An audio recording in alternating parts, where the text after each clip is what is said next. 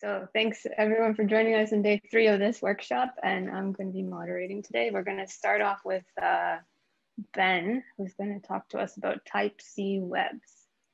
Great, Take thanks very much. Thanks, Anne. It's a pleasure to be here, of course. Thanks for the invitation.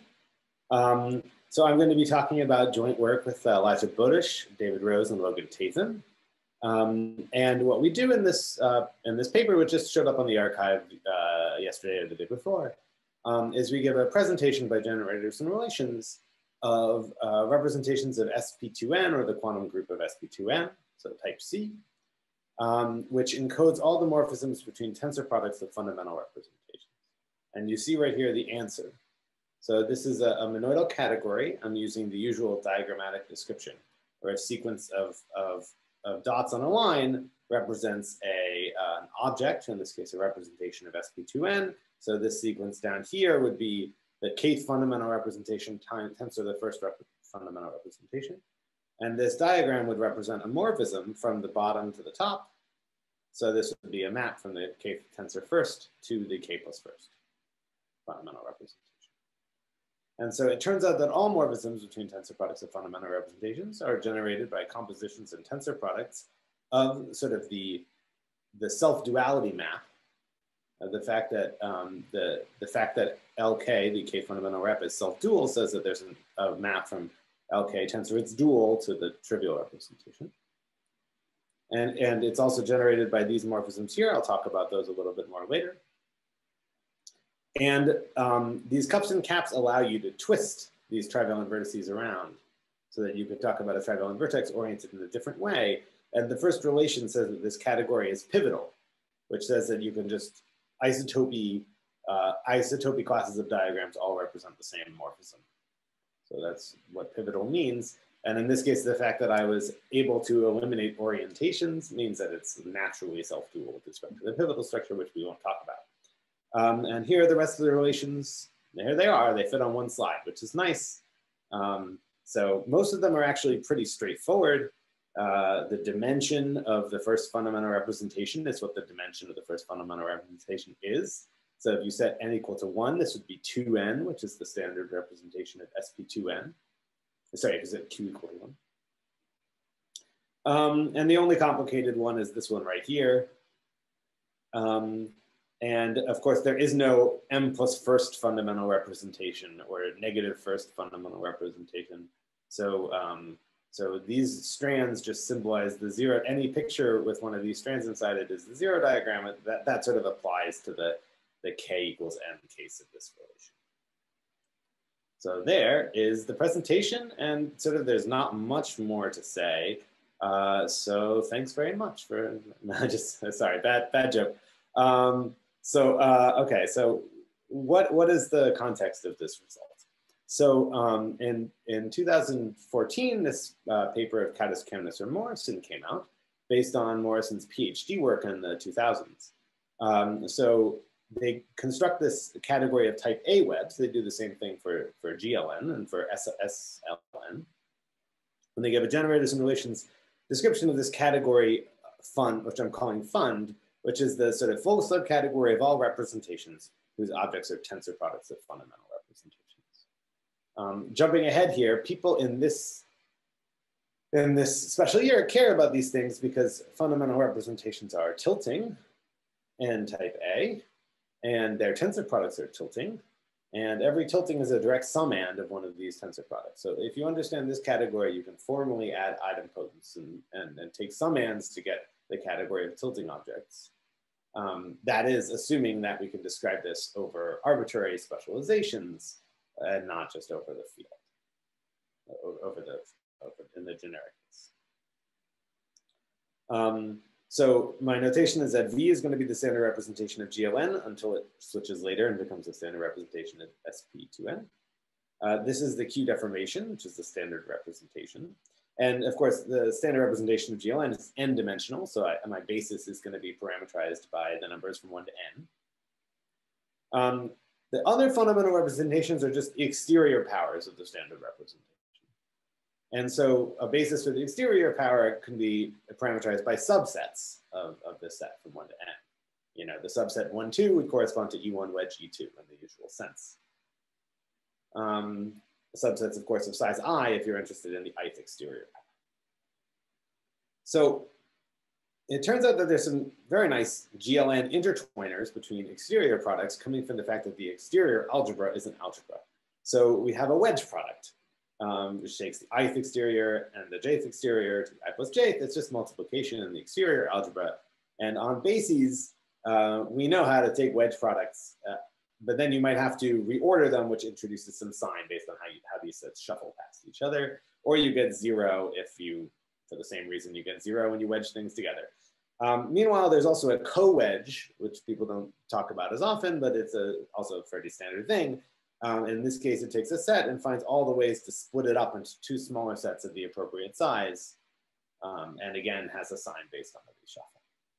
So this is a description of certain GLN intertwiners between exterior powers. What about the Q deformation? Uh, once you pass to the quantum group, it's not a um, symmetric monoidal category anymore. Uh, so it's a little bit harder to talk about exterior uh, products of V, but actually one can still talk about it. There's a paper of Berenstein and Zwicknagel which defines these quantum exterior products. Um, and in fact, the LIs are quantum exterior products. Um, regardless, you don't have to know what that means um, because you can just use the same parameterization of the basis and there's sort of very natural Q deformations of the formulas above, which tell you everything you need to know about these intertwiners. Any questions? So what Morrison did in his thesis was to sort of start studying these by encoding, encoding them with diagrams. Um, so you could also say that he defined a category by generators and relations if you want. Um, and to say that he encoded morphisms with diagrams is to say that he has this functor that tells you this diagram represents this morphism of GLN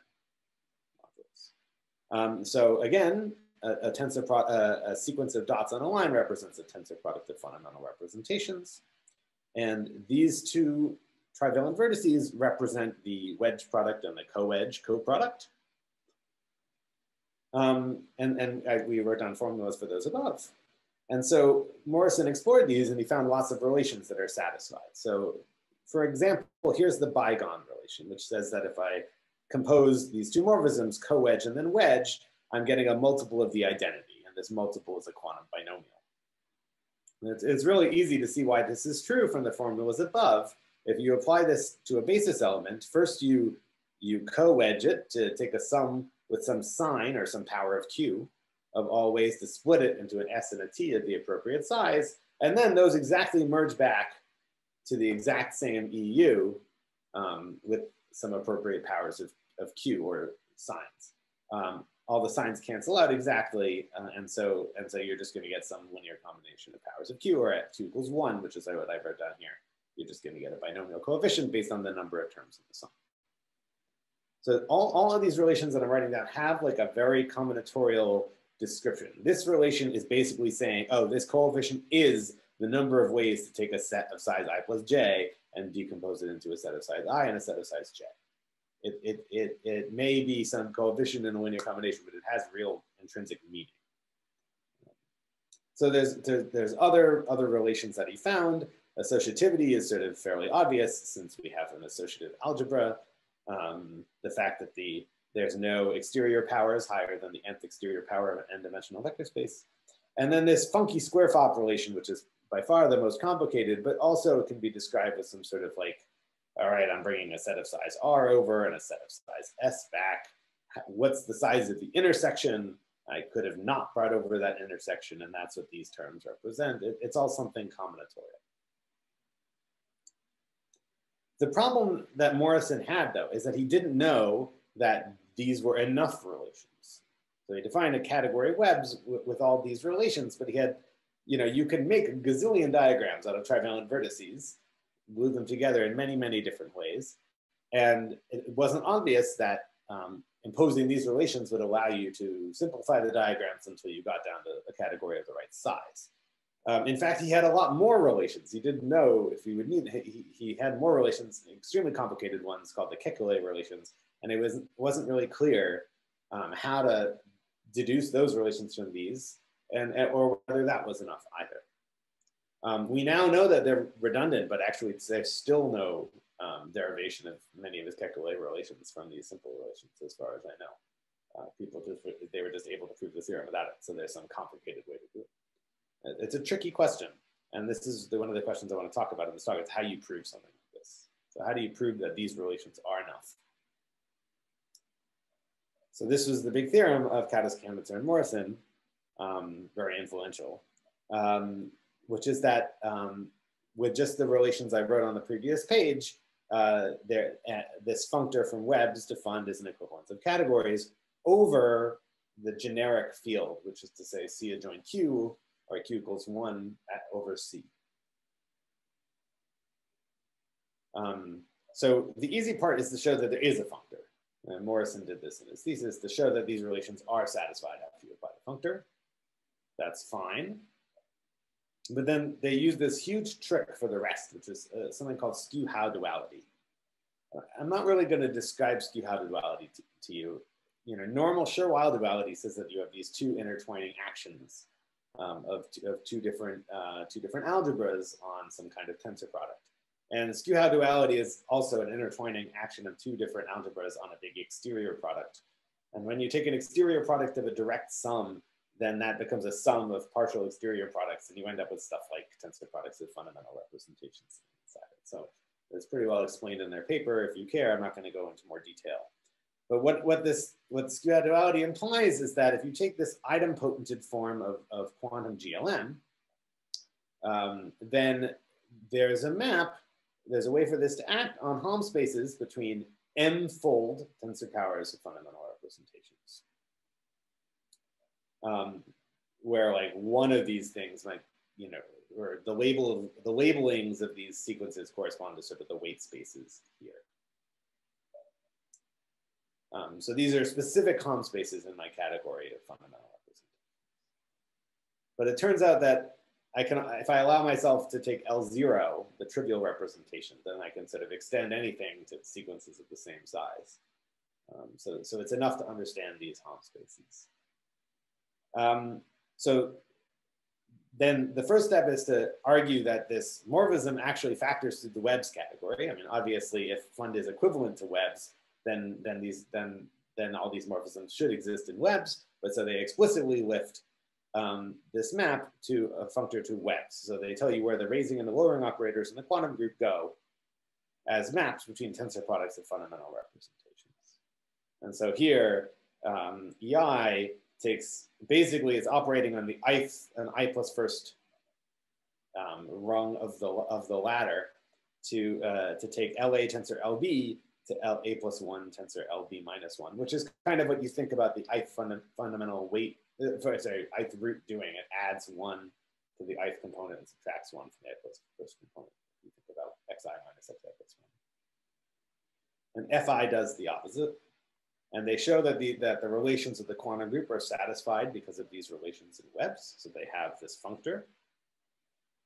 And so you have this um, commuting diagram of, of categories. And um, the fact that this is full from Schur-Weyl duality implies that lambda is full.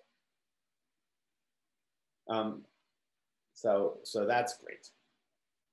Um, but webs in theory, might be much, much, much bigger. There might be many more relations. Sorry, there may be many more diagrams that are constructible out of trivalent vertices. How do you know that they'll all be in the image of these? In particular, anything in the image of these looks something like this, which this kind of diagram we call a ladder, um, even though it would be, it's more of like a Donkey Kong thing. It's not, uh, not really just a ladder, but um, nonetheless, one would need to prove that all lat webs are in the span of this in order for, for, for this to be surjective. And um, they, they do this, they, they, they prove this sort of ladderization process. It's kind of like a Morse theory argument that if you have some crazy diagram built out of trivalent vertices, that you can, that you can straighten it into something which is in this nice form.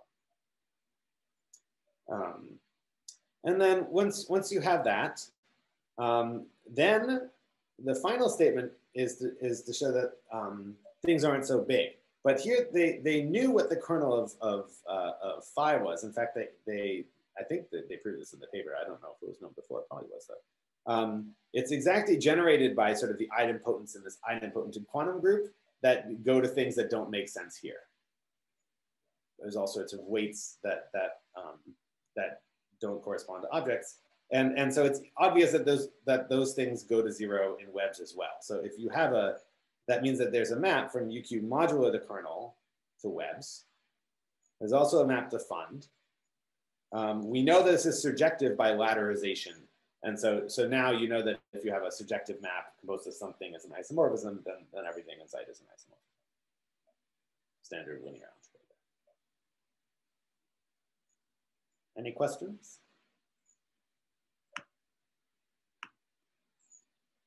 So there's a, this was a, a beautiful thing and, and uh, seemed, made skew-Howe duality seem like a really powerful tool because it solved this sort of long-standing problem. Kuperberg back in the 90s had asked, can we find uh, diagrammatic descriptions of, of tensor products and fundamental representations? And, and it was you know, almost 20 years until the solution of, in the first case, type A. And so people wondered whether we could use similar tricks in other types. And this was explored pretty well by um, Sartori and Tubbenhauer, who, who basically point out that, um, that similar techniques just don't work in other types, or at least not so easily. So first off, uh, like what's dual to representation theory is not some other quantum group, but it's actually some co-ideal subalgebra. And, so describing what's happening on that side is sort of also a difficult problem that would need to be solved before you could use these techniques.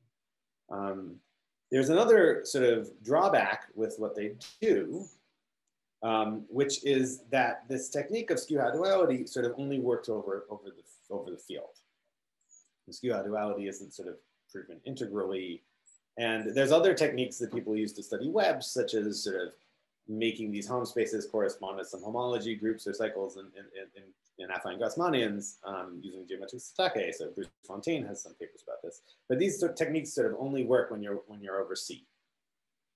Um, and, and that means that applications to modular representation theory sort of aren't really approachable using these techniques. So when you have a category given by generators and relations, by definition, this gives you a, a, a, version of that category to find over a small ring, the smallest ring containing all your coefficients right? And in this case, and so when you have it defined over a small ring, then you can do lots of specializations like to various fields. And you can hope that this describes Hom spaces between tensor products of fundamental representations in other fields, which as I described, is, is they're all tilting modules. And this sort of basically describes tilting modules. Um, so in this case, the smallest ring containing all the coefficients is Z adjoint QQ inverse, or Z if you're doing just normal GLM. But there's no proof from what Cautis-Kamnitzer or Morrison do that this actually does give you the right answer over Z2Q inverse. So are we describing tilting modules or is this some random algebra? If we specialize to finite characteristic, is this some random algebra or are we describing something useful? Um, so um, in, in 2016, I came up with a new proof of Cautis-Kamnitzer or Morrison's results which doesn't use skew-Howe duality and explicitly works over the integral form. And the way that we do it is by actually finding bases um, for, for Hom spaces and webs and actually arguing diagrammatically that you can reduce things to bases. It, it, it took a lot of work. Um, so this style of proof uh, does generalize to many other things, but it is not a small amount of work and you can't do it in less than 100 pages. I mean, it's painful. um, Whereas, um, uh, but we did, but I was able to prove that this integral form of webs does match um, tilting modules. So it really does describe what we care about, and this allows you to get information about modular representation theory from this. I'll mention that Cautis-Kamnitzer and Morrison had a lot of relations in their paper that they knew were redundant when working over C but that they knew weren't redundant when working over the integers. And so they specifically left those relations in, and I'm very thankful for them. Um, otherwise, it, you know, coming up with all the relations would have been much more tricky. So this sort of, um, I'm, I'm now going to tell you about a different proof in type A that might work. So here is a proof which um, which would make sense not over the integers, but would make sense so long as you inverted quantum numbers, just quantum numbers for k less than n.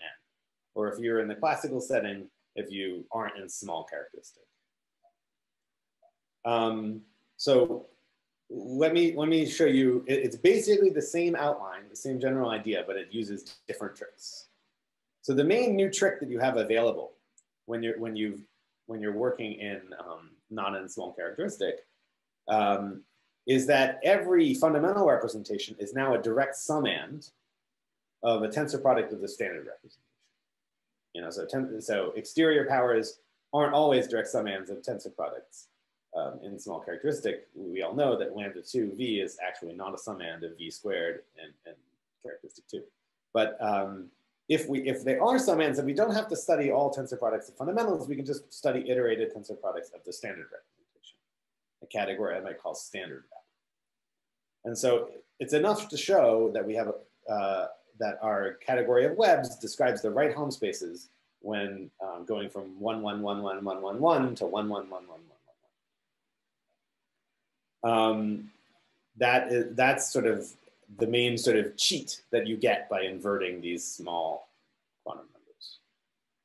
Well, now you've got Schur-Weyl duality, which tells you, instead of skew-Howe duality, which tells you that there's a Hecke algebra, which um, instead of a quantum group, which acts by intertwiners on these tensor products.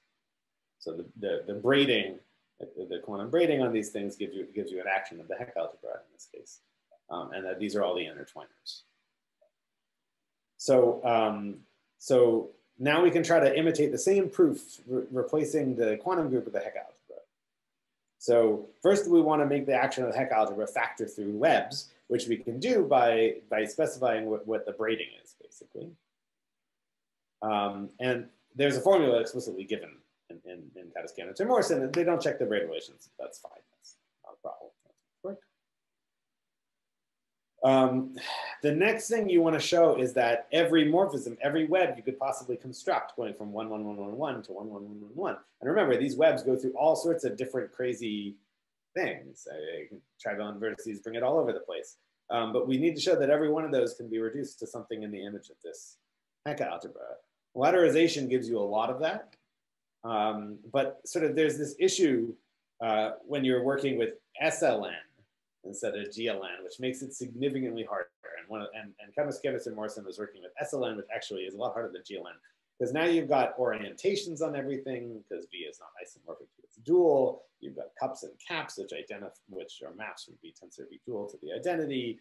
And basically you have this whole issue that really you can sort of reduce things to oriented tangles, but you then have to go a lot further to reduce it to braids, and you'd have to use some some like Reidemeister moves and, and crossing switches and various things like that. So it, it's sort of a, a, a, it's like a, it's like a topological argument but where you have to work, where you have like the Reidemeister moves modulo lower terms, things like that. Um, it, it, it's, it's pretty standard, but it, this kind of argument's not always in the literature. Uh, so I'm not saying this is hard, but I'm saying it would take a little bit of work. Um, and then the final step is that we actually do know the kernel of the map from the Hecke algebra to the endomorphisms of Cn tensor M. And it's uh, generated, if you think of the Hecke algebra as being a big monoidal family of algebras, by um, a certain uh, basis element for the longest element in Sn plus one, and the things that that generates inside of Sn. So it's like projection to the sign wrap on n plus one strands. Um, and you want to check that this goes to zero in webs. So in fact, this Kazhdan-Lusztig basis element is really easy to describe in webs. In webs, this is literally just take a whole bunch of one strands, merge them, one, one, one and one merge to two, which merged to three, which merged to four. I've, I've sort of done that all in one step and had it all merged to n plus one. So just a big wedge product to the n plus first wedge power and then coming out. But we also know in webs that the n plus first wedge power is already zero. So it's obvious that this, that, that, that this kernel of the Hecke algebra is, goes to zero in webs. And then you have the exact same argument that you had before. Um, that, that this function is fully faithful. Well, I'm not saying that I've done this carefully or that we wrote it up. Um, such a proof would work, but it's not significantly easier than Cautis-Kamnitzer and Morrison's proof, so it's not really worth writing up. It is much easier than my proof, and it should work over this other field, uh, over this, sorry, other ring, although it's still not as good as the images. Ben? Yes.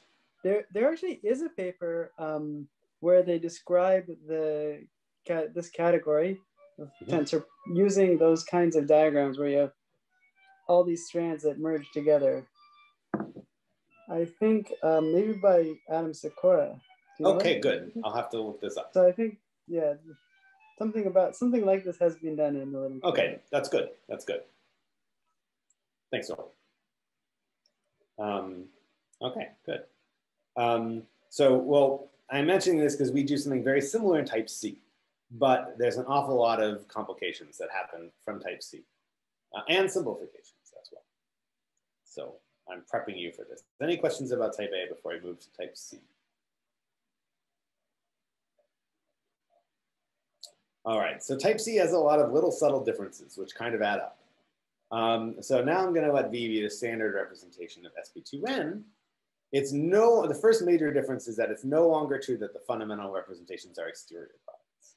You've got this symplectic form on V, which basically gives you a copy of the trivial representation inside the second exterior object okay? And so if you take the second exterior algebra and you remove this, the, the trivial representation, then you get the second fundamental representation. And similarly, there's a copy of, of lambda one inside lambda three, et cetera, et cetera, et cetera. So the fundamental representations are summands of the exterior product, um, but uh, they are not the exterior products anymore. Now, one interesting feature of what we proved, and I'm sure this has to have been known before, but I, I, we couldn't find it, so we defined these maps in our type C category. And these are maps from tensor products of fundamentals, not from tensor products of exterior, not from exteriors, but from actual fundamentals. From Li tensor Lj to Li plus J, and these satisfy associativity. So that actually implies that the direct sum of all the fundamental representations is also an algebra. It only goes up to half the dimension because it only goes up to omega n of c to the 2n. Um, but nonetheless, it's an algebra. I don't know if this algebra is in the literature. Um, and so that's sort of a, a, side effect of our results. It's kind of interesting, but we had to sort of prove that. Um, uh, I'll, I'll, mention that I, I, said before that exterior products, so when you said, when you're passing to the quantum deformation, can you still talk about these exterior products? Well, as I said, exterior products make sense. We, we were looking in the literature, it should be there, but like I, I don't know. I couldn't find the spot that said that the exterior product was the same size as the normal exterior product because you don't know that for sure. Uh, I'm pretty sure it's true. Anyway. Okay, so the second issue is that fundamental representations are not always tilting. And um, they are tilting if and only if all quantum numbers are invertible from one to n. So here's sort of a, a general philosophical principle which is that if you're describe, trying to find out, find, trying to find a nice presentation by generators and relations of a category, all of the objects you use should be tilting if you want this to be a flat presentation. Um, because otherwise you know that the behavior and the size of Hom spaces are going to change if you specialize to find a character to, to some characteristic. So you shouldn't be you shouldn't be able to specialize to any characteristic um, where the behavior of your objects changes and where the size of Hom spaces can change if you're going to have a flat presentation. Um, in particular, that means that you should invert anything that you need to invert. You'll be forced to invert anything that you need to invert for that to be true. Um, so you may note, uh, I'll, I'll, go back at some point to the, um, oh, maybe I can do this. No, no, no, hold on. I can always zoom back like this.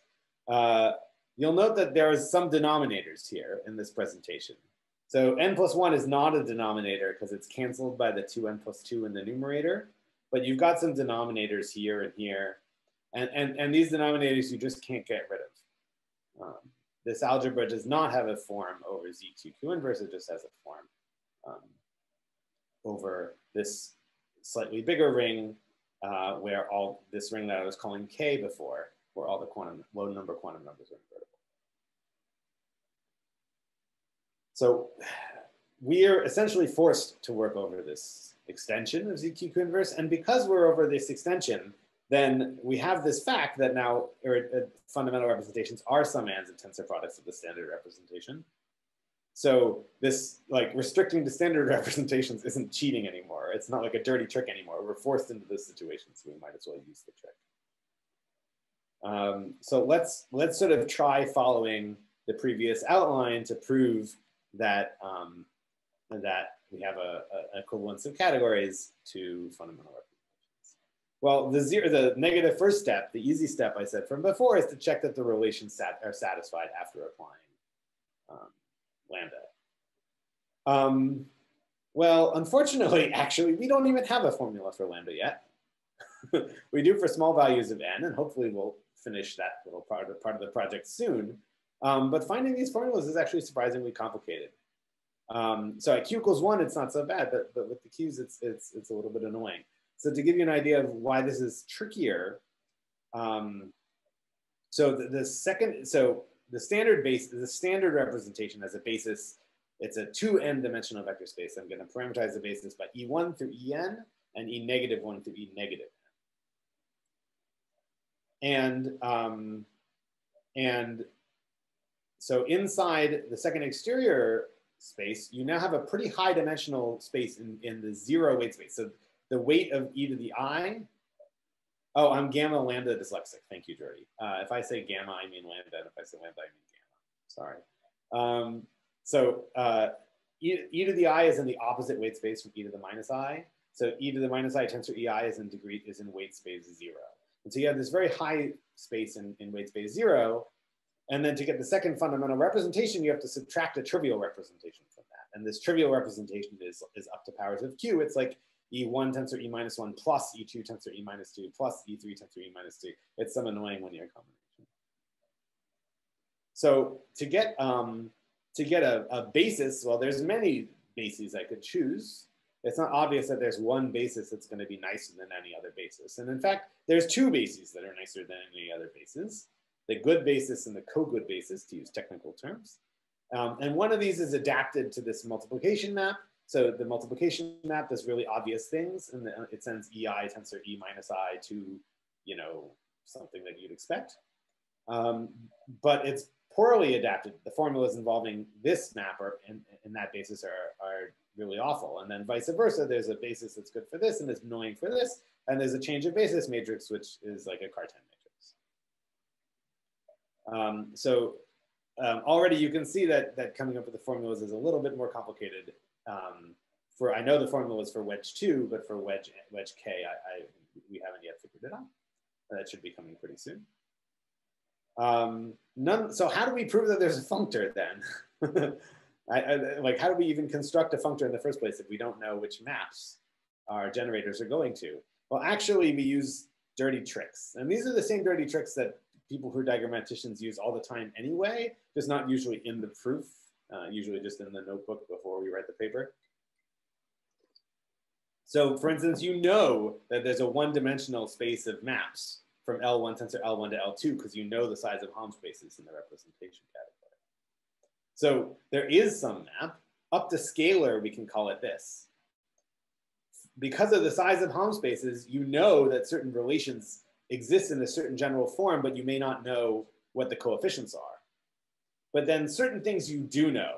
You know the dimension of the, the standard representations. That can't change by doing any renormalization of cups and caps. You know the, the value of the ribbon elements on various things. Once you fix your pivotal structure, that can't change. And using these things at various consistency checks between these things, we determine what the braiding is and we determine all the coefficients and the relations as the only things that are possible. So that's how we, we deduce that there's a functor existing without actually even finding a formula for that functor.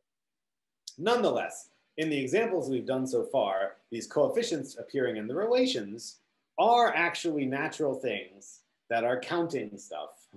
it's not the worst thing in the world. It, you know, in examples, it, it's not nonsense. But, um, we haven't really figured out the so that was a fair bit of hard work, and this was modeled on previous work of, of uh, David Rose and Logan Tatham, who did the case of type C3. So as I said, we're, we, we've inverted small quantum numbers. We can reduce tensor products of the standard representation. And now, instead of Schur-Weyl duality, we have the type C analog, which is Brauer Schur-Weyl duality. So there's this um, BMW algebra, which surjects onto the endomorphisms of the nth power of V. But because of the cups and caps now that exist, there's also Homs between different tensor powers of V, say from the identity to V tensor squared. And so you can put them all together and include the cups and caps in this Brauer category. Um, and of course, this factors through web, which you can show by finding the crossings and finding the cups and caps and checking that the relations are satisfied. And, and once, once you know that the Brauer thing, which, which is full onto, onto standard rep, uh, factors through webs, that tells you that the function from webs is full as well. But there's trouble brewing for the rest of the proof. So at the end, we wanted to show that webs was not too big. Um, and we did this by showing that the kernel of the map from, you know, so you would want to show this by showing that the kernel of the map from Brauer to Fund is the same as the kernel of the map from webs to Fund, or at least um, is, con is, is, contained in the, sorry, is contained in the map from Brauer to webs, the kernel of the map from Brauer to webs. Um, but we don't know what that kernel is. So the kernel, um, unlike before where it was just some nice Kazhdan-Lusztig basis element or something, where people understood it. It's known by sort of work of Lehrer Zhang and more explicitly by work of Ruby Westbury that this is, that there is just one more relation you have to, one relation that's, uh, you need to kill in the Brauer category to get to, to get down to um, fund, and it's the quantum Pfaffian, but writing that explicitly in terms of, of crossings and cups and caps and so forth, there's no known closed formula as far as I, or as far as we could find, nor did we find one. Um, the way that we get around this is actually, and, and I, I, think this is one of the real advantages of webs as opposed to these other descriptions, BMW categories, Brauer categories. So I, I've, I always advocate for studying fund rather than standard rep.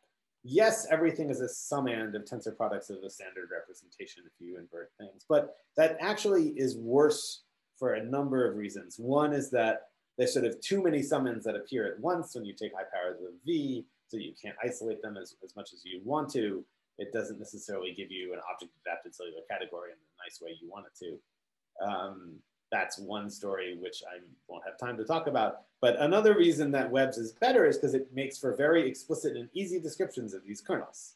So here's the kernel um, descri described in terms of webs. It's exactly like it was in type A. Okay, in, in, in type A, um, uh, sort of the uh, this morphism here, you can rewrite this in terms of the Brauer, Brauer category. And this is exactly the thing, which is the kernel. But we know it's zero because by, by already by one of our relations, the strand labeled n plus one is zero. Um, so, so basically what we do is we use some sort of ladderization style arguments, although it's a different kind of thing. It's more of like a Reidemeister style arguments um, to argue that everything is in the image of the Brauer category. And, um, and then we pass to the field and we use a dimension count to say that, okay, we know that this is zero. We know that this imposes some completely unknown relation on the Brauer category. But we know enough facts about the, what that relation would be that we can deduce that the size is reduced from all possible, you know, like tangles to, to, to sort of n plus one avoiding planar matchings, which I can describe, but I don't have to. But anyway, sort of we used sort of this known fact here to, to, to argue that the, the size um, is not too big. Um, but we have to work over the field because we're using dimension counts, basically saying, oh, it's full and the dimension is not bigger, so it must be injective.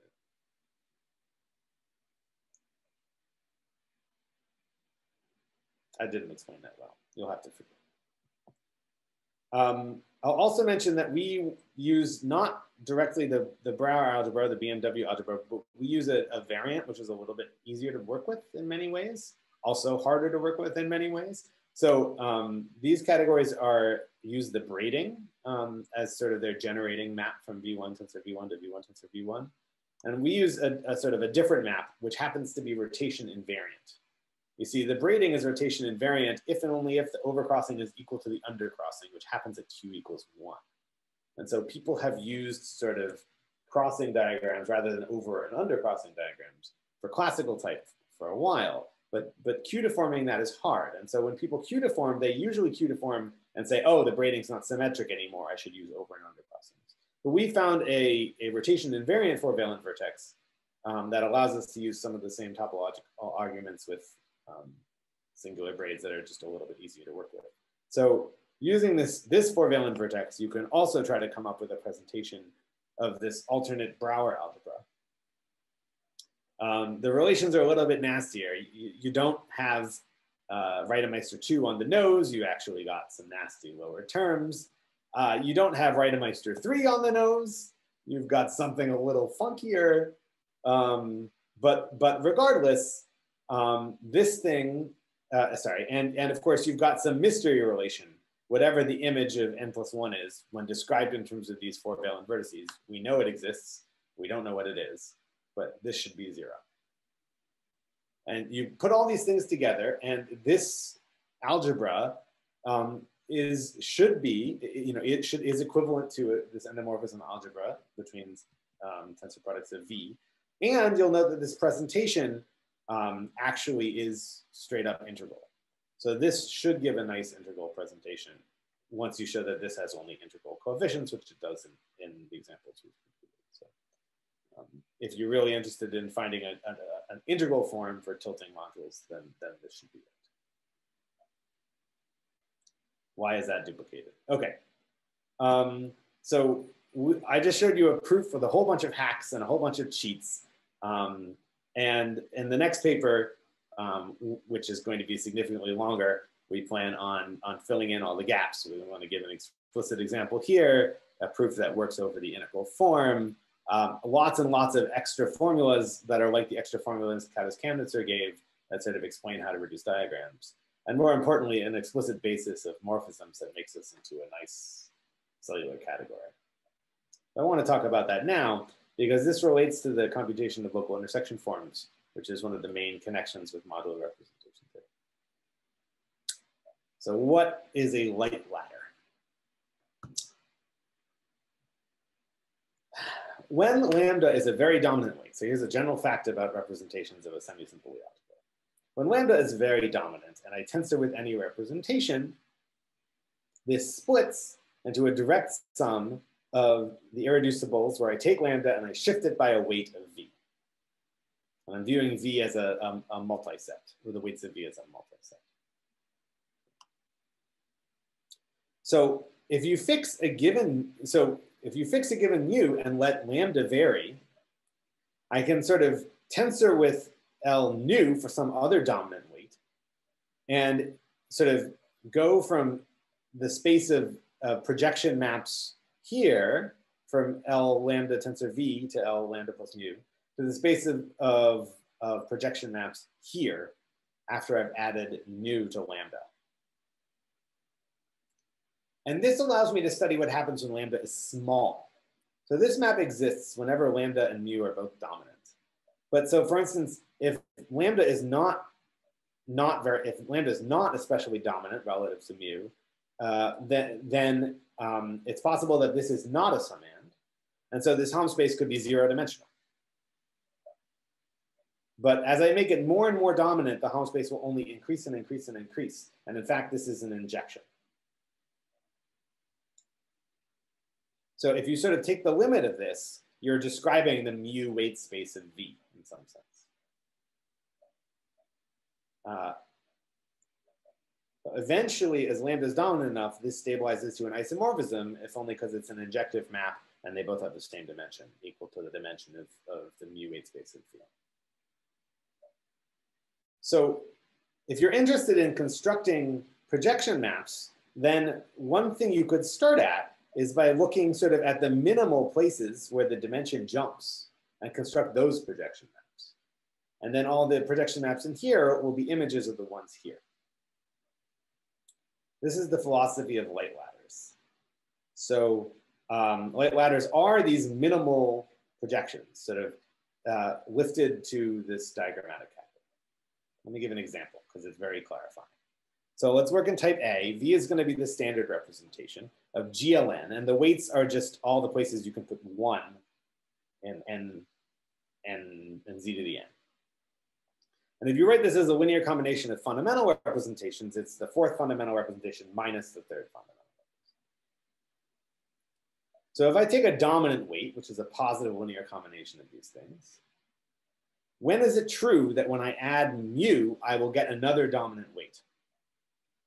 Well, I better have A3 be positive because I don't want to have a negative coefficient when I add them together.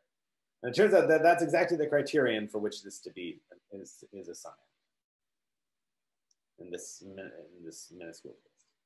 So the smallest lambda for which lambda plus mu, mu for this mu is the sum end of L lambda tensor V is when lambda is omega 3. And in that case, lambda plus mu is omega 4. So for this minimal example, I want to map from L uh, from the third fundamental representation, tensor V, to the fourth fundamental representation. And look, it's right there. We have that already. Now, for any other example for which this is a summand, A3 will be positive. And so I can sort of think that L lambda is a summand of L nu tensor uh, omega L3. And L lambda plus mu is a summand of L nu tensor omega 4. And so I can just take the identity map of L nu and then I induce it by doing some projection and projection maps on top and bottom to get sort of the desired map. Okay. So basically, this is the prototype. It's the pattern from which all other projections can be constructed. Let me do another example.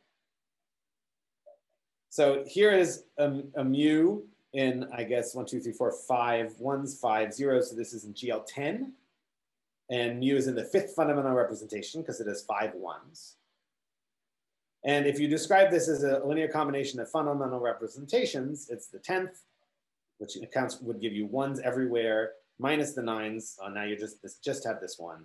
And then eighth minus seven contributes this one. Fifth minus third contributes these two ones, and so forth. And the minimal lambda, for which lambda plus mu is dominant, is all the minus signs, because we need to cancel them out and make them positive. And then when I add mu, I get all the plus signs. So I want to map from uh, sort of L1 tensor L3 tensor L7 tensor L9 to L2 tensor L5 tensor L8 tensor L10, but I also need a tensor with V.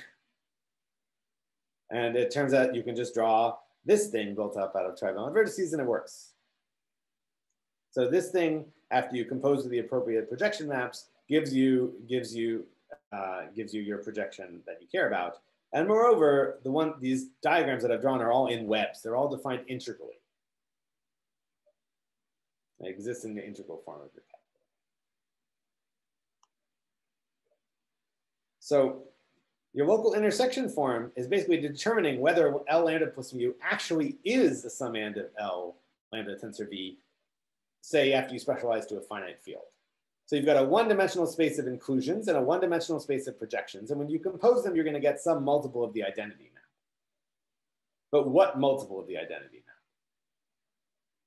map? Okay. The, what multiple of the identity map you get depends on sort of what rescaling of these maps you use, but there aren't that many rescalings that live inside the integral form. Okay. And so sort of the ideal generated by this thing inside the integral form is an invariant. And um, so, oh, so under the assumption, um, oh, I, I, think I miswrote that, but under the assumption, yeah, yeah, under the assumption that L lambda is tilting, if you want to know whether the tilting of lambda plus mu is inside this, it's, it's exactly equivalent to this being invertible after specialization. So the local intersection form is in some sense the first line of defense in modular representation theory. It tells you when things, when things um, split off, and then the first time something goes wrong, it tells you why it goes wrong. But eventually, uh, this condition stops holding and it stops being incredibly useful. Although, in some sense, it's really the input to, to Geordie's computer programs and, and uh, in some sense, um, and, and Thorge's computer programs. And, and, and if you know all the local intersection forms, you basically know what you need to know to crank the category. You just don't have the combinatorics to understand what's going on. since I'm out of time, I'm just going to mention that I have a conjectural formula for these local intersection forms um, in terms of ratios of quantum numbers, which looks kind of like the Weyl dimension formula, but isn't. Um, and I would love for an explanation of that. And I was just going to say that in type C, I'll explain for anyone who cares, we've got the same set of ideas. So we've got, um, we know how to define the, the light leaves. We don't, we, we know how to define the light. Um, I'll say one or two other things. So um, in type C2, Elijah, a student, studied light leaves and, and local intersection forms, and he generalized my type A conjecture to extremal weights um, inside the fundamental representations. There's also sort of non-extremal weights, and he found formulas for those non-extremal weights. Um, and he's doing the same thing right now in type G2 with um, uh, Haihan Wu at UC Davis. Um, so there's reasonable uh, combinatorial answers now for, for a lot of these local intersection forms, but there's still a lot of mistakes. Um, another application of type C webs is that um, recently majority you can use them to prove uh, geometric Satake and quantum geometric Satake in type C. So, thank you.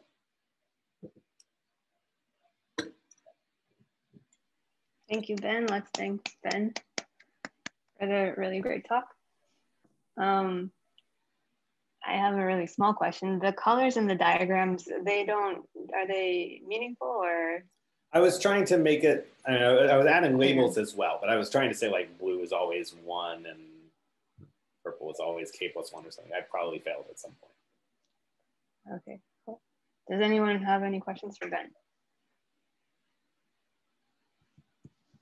The colors in the thank you is not meaningful. thank you is meaningful.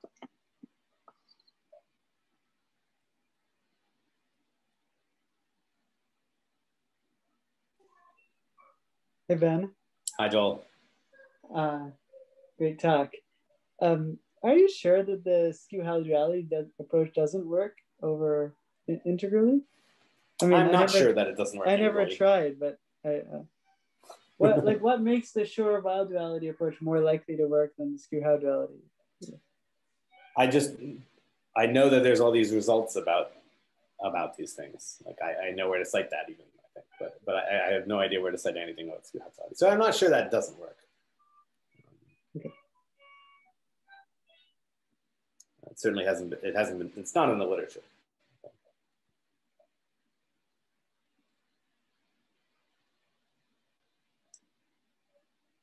And is it? But is, is it true? I mean, like, like for instance, a, a, a size two rung. If you have divided powers, if you have enough suitable divided powers, then it should work. You, you really need divided powers. And my other question is under the this geometric Satake, maybe not not quantum geometric Satake, just ordinary geometric Satake. What what what do these uh, local intersection forms become, or what do they express as? Right. Um, I mean, these become sort of HOMs between uh, sort of you take an IC sheaf and you tensor with another IC sheaf and you take HOM to a third IC sheaf and compose these things. But this transforms. Okay, so it's, it's tensoring with the standard representation is usually like some kind of induce and restrict. Um, probably, uh, Geordie, you can probably answer this better than me, but it, it is some local intersection form on some stalk somewhere after you push forward to a parabolic. Um, like if you don't have any um, like let's say you're doing fundamentals for gln then right. this is really like a um, intersecting cycles in some um, fibers of a convolution map in type c i think it's more complicated though because the fundamental representations are weirder yeah as soon as you have idempotents around it's like some analog of this with ics but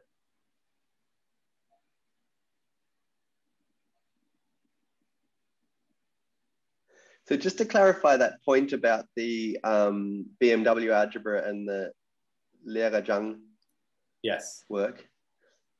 So the point is that we explicit, so we have this map from the BMW algebra to endomorphisms of some tensor product of fundamentals hmm type C. And Yep. we know that the kernel is generated by some element that we can write down as some quantum Pfaffian or something.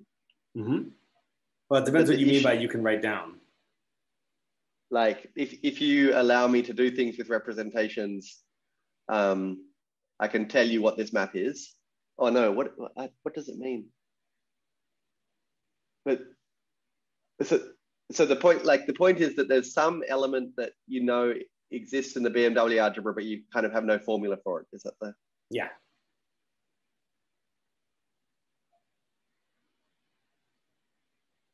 And it was even very hard to show that this this element, because and in that Lehrer-Zhang paper, they worked very hard to show that this element spans the kernel. No, Right.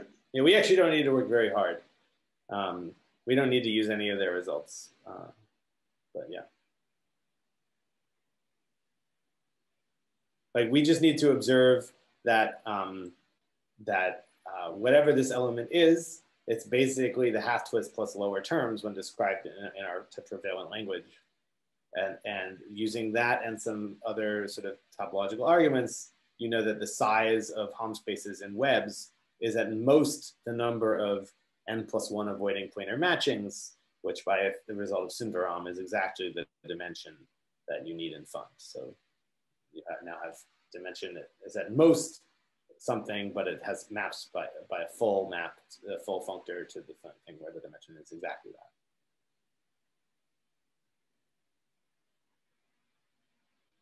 So yes, I should mention these nice results of Sundaram, which calculate the size of these Hom spaces in type C.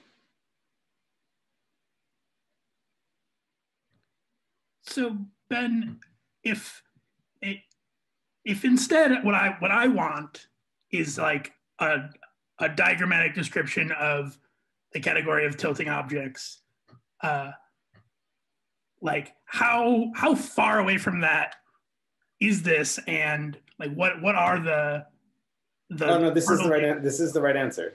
This But you have the- this Oh, uh, oh, of all tilting objects. yeah of all of all tilting objects Right. So so there's like there's like a couple steps involved in in sort of up, upgrading this, right?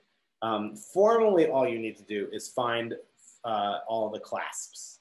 So these are this is the fancy word for the item idempotents projecting to the tilting module inside the um, in, inside the tensor product of fundamental representations.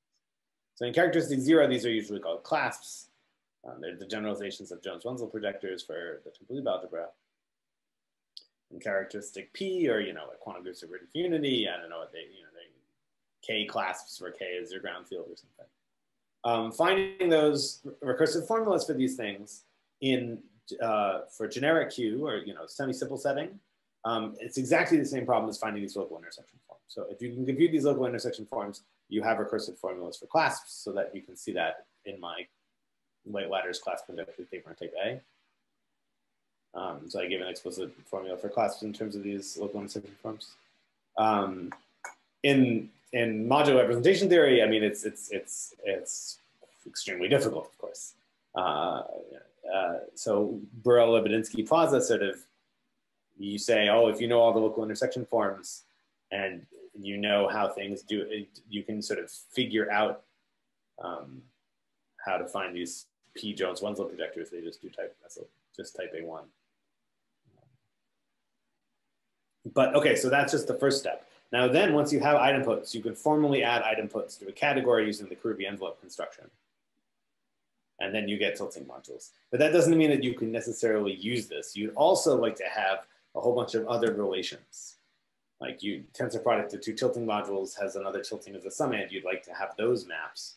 And, and this is like the same as computing certain uh, whatever symbols. That's also a hard problem. It's like quintuple clasp expansion formulas.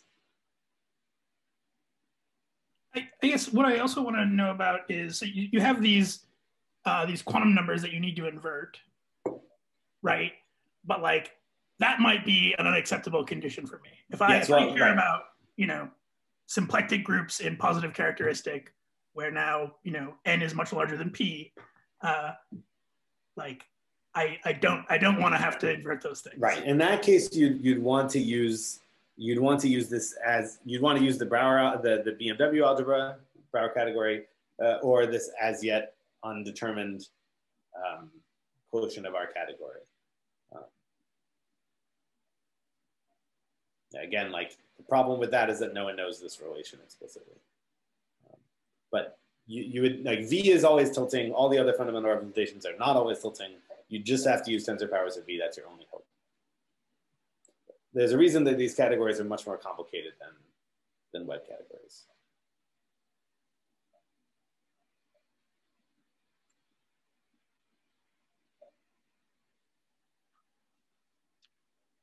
So if there are further questions for Ben, maybe we'll move to this gather town to discuss more. Geordie pasted the link in the chat.